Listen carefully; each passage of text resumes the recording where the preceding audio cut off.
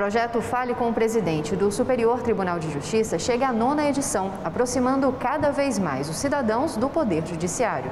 O projeto teve início há um ano e é um convite para que as pessoas encontrem o presidente do STJ e apresentem suas demandas pessoalmente sobre os mais variados assuntos. O ministro Humberto Martins destaca em todas as edições a importância de que a magistratura esteja de mãos dadas com a cidadania e que o programa é uma forma de consolidar essa relação, dando mais transparência à administração pública. Esse programa é a oportunidade de o cidadão brasileiro e a cidadã brasileira conhecer o STJ, apresentar os seus questionamentos e, dentro do que for possível, o Superior Tribunal de Justiça buscará atender os reclamos da sociedade as edições acontecem uma vez por mês e, ao longo do projeto, já foram realizadas mais de 60 audiências individuais.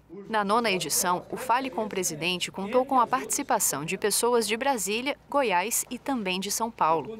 Os participantes contam que a oportunidade e a atenção dada para cada um deles os fazem sentir que a justiça é, de fato, para todos. Eu nunca imaginei que eu pudesse ter esse acesso, achei o projeto maravilhoso e eu me senti ouvida, me senti orientada. Ele deu calma para o meu coração. Para mim é uma oportunidade única, maravilhosa, é uma coisa assim que o cidadão tem a oportunidade de se expressar, isso aí não tem preço, é maravilhoso.